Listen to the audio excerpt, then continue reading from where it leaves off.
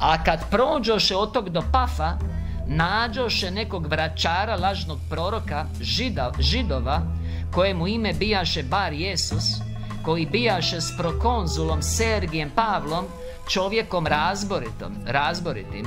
I ovaj dozva čovjek razboriti Prokonzul Sergije Pavle Dozva Barnabu i Savla Apostole Znate kad meni kažu da sam 13. apostol Ja vidim da oni nisu uopće išli u školu Ni znaju brojiti, ni znaju sveto pismo.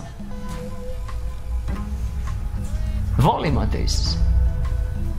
Jer Pavle apostol, a i Barnaba Ako krenemo od 12 Čak ne moramo ni od Matije, nego od 12 Pa Juda otpa Već ovdje imamo 15 ako uključiš mene.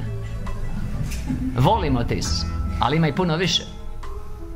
Pazi U Novom Zavjetu, ne mislim iza Jer je on odredio pet službi za crkvu dok ne dođe. Prvim Korinčanima 12.28 Volimo te Isuse I budi blagoslovljen Isuse Gdje su apostoli prvi Kao i u Fežanima 4 I to 11 do 13 Gdje govori o službama u crkvi i njihovoj svrsi